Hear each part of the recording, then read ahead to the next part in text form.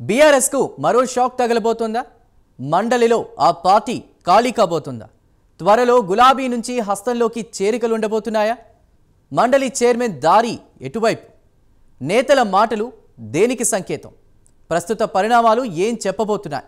BRS Congress నేతలు ఏమంటున్నారు?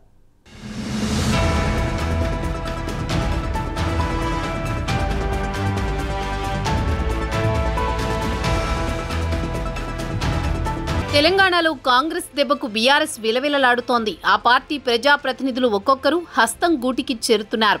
తాజాగా మండలి చైర్మన్ గుత్తా సుఖేందర్ రెడ్డికి లైన్ క్లియర్ అయినట్లు తెలుస్తోంది. త్వరలో కాంగ్రెస్లో అధికారికంగా చేరనున్నట్లు తెలుస్తోంది. తాజాగా గుత్తా మాట్లాడిన మాటలు ఇందుకు ఊతమిస్తున్నాయి. కాంగ్రెస్ పాలనపై భేష్గా ఉందంటూ ప్రశంసించారు. తెలంగాణలో ఆర్థిక పరిస్థితులు బాగా లేకున్నా సంక్షేమ కార్యక్రమాలు అమలు చేస్తున్నారన్నారు. ఇప్పుడున్న పరిస్థితుల్లో ఒక్కసారి రుణమాఫీ చేయడం సాధ్యం కాదు. అయినా రేవంత్ సర్కార్ చేసి చూపించిందన్నారు గుత్తా.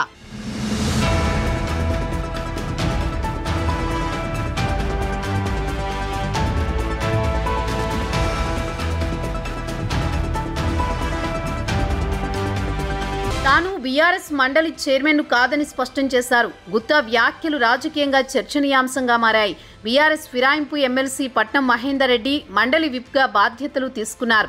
పట్నంను బీఆర్ఎస్ విప్గా చూడాలా లేకపోతే కాంగ్రెస్ విప్గా చూడాలా అన్న ప్రశ్నలకు ఆయన ఆసక్తికర సమాధానం ఇచ్చారు. అఫీషియల్ విప్గానే పట్నంను చూడాలని స్పష్టం చేశారు. ఇటు బీఆర్ఎస్పై మండిపడ్డారు గుత్తా. ఫిరాయింపులపై ఆ పార్టీ ఏం చేస్తుందో గుర్తు చేసుకోవాలన్నారు. మూసీ నది సుందరీకరణపై ఇంకా డిపిఆర్ సిద్ధం కాకముందే అవినీతి జరిగిందని ఆరోపణలు చేయడం సరికాదన్నారు. హైడ్రా వల్లే రిజిస్ట్రేషన్లు పడిపోయాయని ఆదాయం తగ్గిపోయిందని ఆరోపించడం విమర్శలు చేయడం సరికాదన్నారు.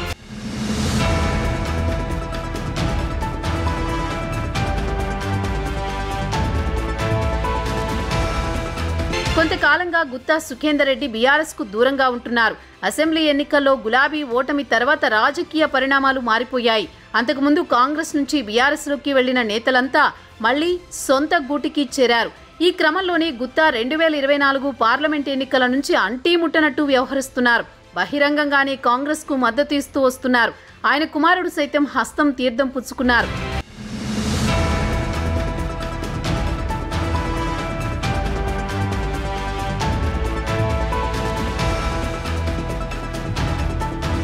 త్వరలోనే గుత్తా సుఖేందర్ రెడ్డి చేరికపై క్లారిటీ రానున్నట్లు తెలుస్తోంది.